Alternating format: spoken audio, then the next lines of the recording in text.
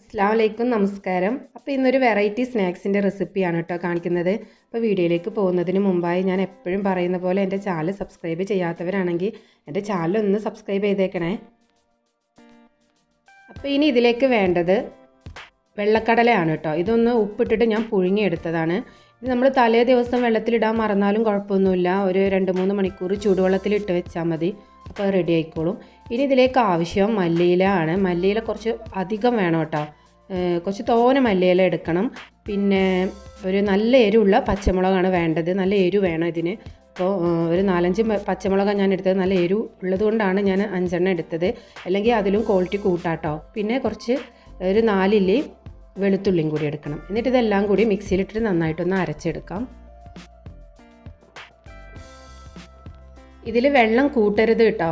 ഇതിൽ പിന്നെ കുറച്ചൊരു കടലിന്റെ വെള്ളമുണ്ട്. അല്ലാതെ നമ്മൾ എക്സ്ട്രാ വെള്ളം ഒന്നും കൂട്ടരുത്. കടലിന്റെ വെള്ളം കൂടുതലുണ്ടെങ്കിൽ അതൊന്നും ഇതിൽ ചേർക്കരുത് കേട്ടോ. ഇത് കുറച്ച് ഡ്രൈ ആയിട്ട് വേണം ഇരിക്കാൻ ഇതിന്റെ കൂട്ട്.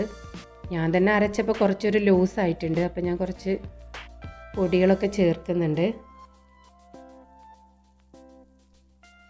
ഇനി ഇതിലേക്ക് ഒരു സ്പൂണ് കടലപ്പൊടിയും ഒരു സ്പൂണ് അരിപ്പൊടിയുമാണ് ചേർത്ത് കൊടുക്കുന്നത്.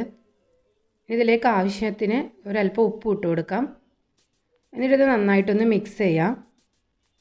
ഈ കൂട്ട് നന്നായിട്ടൊന്ന് ഡ്രൈ ആവണം. അതിന് വേണ്ടിയിട്ടാണ് നമ്മൾ ഈ പൊടികളൊക്കെ ചേർത്തത്.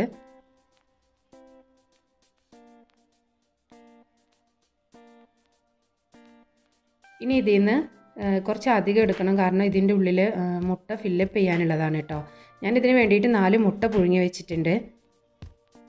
ഇതുപോലെ ഈ കൂട്ടിന്റെ ഉള്ളിൽ മുട്ട വെച്ചിട്ട് നന്നായിട്ടൊന്ന് റോൾ ചെയ്യാം. ഇനി ഇതേ ഒരു ഷേപ്പിലാക്കണം ഇത്. എന്നിട്ട് എണ്ണ ചൂടാവുമ്പോൾ അതിലിട്ടിട്ട് ഇതൊന്ന് ഫ്രൈ ചെയ്തെടുക്കാം. ഫ്രൈ ചെയ്യുമ്പോൾ ശ്രദ്ധിക്കേണ്ടത് ഈ മാവൊക്കെ ശരിക്കും വേവണമെങ്കിൽ ഫ്ലെയിം നല്ല കുറച്ച് വെച്ചിട്ട് വേണം കേട്ടോ. തിരിച്ചും മറിച്ചു വിട്ടിട്ട് ഇത് നന്നായിട്ടൊന്ന് വേവിച്ചെടുക്കണം. ശരിക്കും ഇതിന്റെ ഉള്ളിലൊക്കെ നല്ലോണം വേവണം. അതിന് വേണ്ടിയിട്ട് ഫ്ലെയിം നല്ലോണം കുറച്ച് വെക്കണം കേട്ടോ. അതിനാരും മറക്കരുതേ. ഇനി ഇത് ചൂടാറിയ ശേഷം ഇതിങ്ങനെ നടു കട്ട് ചെയ്യാം. ഇതെല്ലാവരും ഒന്ന് ട്രൈ ചെയ്ത് നോക്കണേ. നല്ല ഹെൽത്തി ആയിട്ടുള്ള ഒരു സ്നാക്സും കൂടിയാണ്. പിന്നെ ഇത് കഴിക്കുമ്പോൾ സോസിന്റെ കൂടെ കഴിക്കുകയാണെങ്കിൽ നല്ല ടേസ്റ്റാണ് കേട്ടോ. ഓക്കെ അപ്പോൾ നിങ്ങളുടെ അഭിപ്രായം കമന്റ് ബോക്സിൽ എഴുതി അറിയിക്കുകയും ചെയ്യണേ.